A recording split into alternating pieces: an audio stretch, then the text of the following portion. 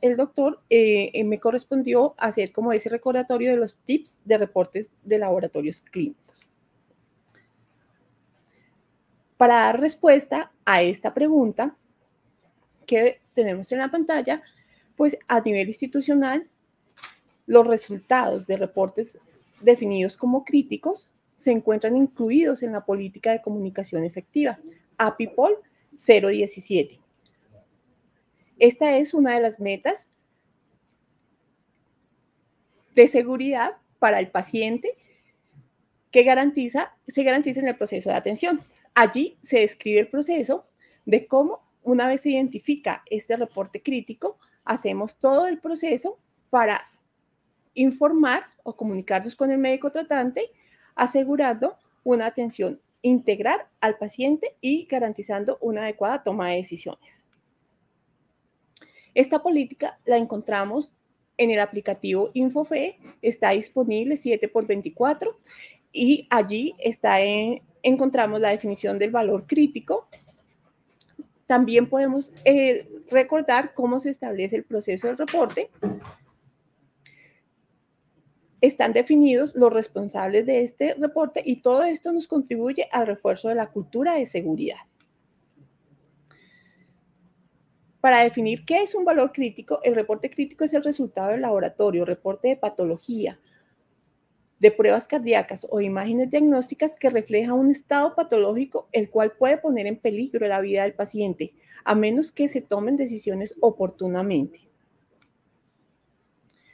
Los servicios que nos generan valores críticos es laboratorio clínico. Para ellos tenemos un tiempo máximo para el reporte de 20 minutos tanto en el ámbito hospitalario, que se considera urgencias, hospitalización general y cuidados intensivos, como para el ámbito ambulatorio. Las imágenes diagnósticas, para ello tenemos 60 minutos a partir del momento en que se obtiene el reporte de la imagen.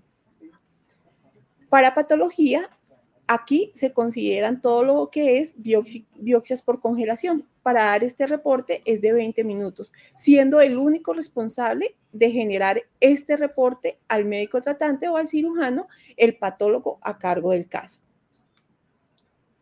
En las pruebas de cardiología, para este reporte tenemos 30 minutos. En la unidad materno-fetal tenemos 30 minutos a partir de que se obtiene el reporte de este examen. Y para neumología, lo que es todo relacionado con gases arteriales y venosos, contamos con 15 minutos para generar este informe. Entonces, en laboratorio clínico, ¿qué vamos a reportar? Vamos a reportar las pruebas de hematología, inmunoquímica y pruebas de cabecera al paciente o POF-ACOR. Entonces, de hematología tenemos hematocrito, plaquetas, hemoglobina, tiempo parcial de tromboplastina, INR, para inmunoquímica, reportamos glucosa, glucosa en líquido cefalorraquídeo, sodio, potasio, troponinas, metanol, lactato, transaminasas y amonio. Para las pruebas de cabecera al paciente tenemos la trombo, el tiempo de protombina y el tiempo y la glucosa. Para el reporte de las imágenes diagnósticas, como son en neumotoras o neumomediastino de reciente aparición, el derrame pleural masivo de reciente aparición, el tromboembolismo pulmonar, los dispositivos endovenosos o de alimentación mal posicionados, los cuerpos extraños en cavidad, los signos de perforación esofágica o intestinal, la trombosis o destrucción vascular, ya sea venosa o arterial, la extravasación activa de vasos sanguíneos, o sea, cuando presentamos un sangrado activo, la hemorragia aguda del sistema nervioso central que indique gran efecto de masa o el infarto agudo cerebral.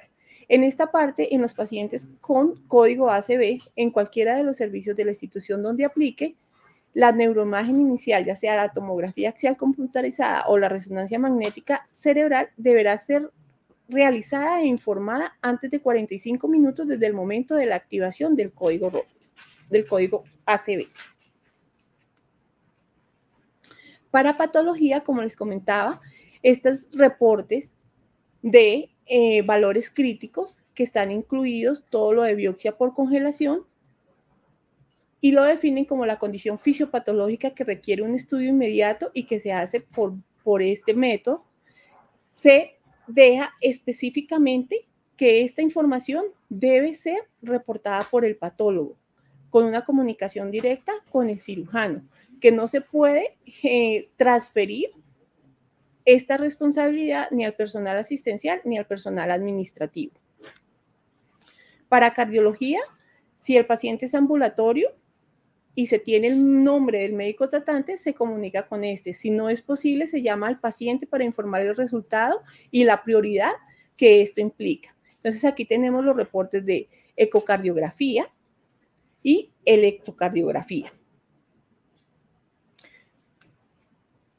En la unidad materno-fetal, ¿qué incluimos? El embarazo ectópico, la amenaza de aborto, malformaciones fetales, que es el tamizaje prenatal anormal, placenta previa, retardo de crecimiento intrauterina o insuficiencia, placentaria o oligoamnios y sospecha de sufrimiento fetal. Entonces recordemos los tiempos que ya los habíamos nombrado. Para los gases arteriales, que tenemos un, tiempo de reporte de 15 minutos, entonces ya sea por urgencias o unidades de cuidado intensivo, este informe es, reportado por la fisioterapeuta respiratoria, lo reporta de forma mal al médico encargado del paciente y se deja la constancia en la historia clínica. En, hospitalización se llama al médico tratante y se deja el reporte por parte de la fisioterapeuta en la historia clínica del paciente. En los pacientes ambulatorios, si tiene el nombre del médico tratante, se realiza la comunicación con este. En caso contrario, se informa de inmediato al paciente y se hace el direccionamiento a su médico tratante o al servicio de urgencias. Entonces vamos a mirar cómo es ese proceso para dar este reporte de resultados críticos. El profesional asistencial responsable de la lectura, el que identifica este resultado, acorde a los tiempos establecidos por tipo de estudio e independientemente del ámbito de la presentación, debe llamar al médico tratante para informar sobre este reporte crítico. Si esta comunicación no es posible con el médico tratante, se dará un segundo llamado al jefe de, de departamento y o a su asignado. ¿Cómo hacemos este ABC de esta comunicación? El emisor se identifica con el nombre completo, cargo y servicio en el cual se está generando este reporte o este resultado crítico.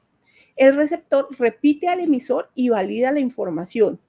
Posterior a ella, hace el registro en la historia clínica del paciente del resultado comunicado o de la ayuda diagnóstica, incluyendo el nombre, cargo y servicio a quien informa este resultado.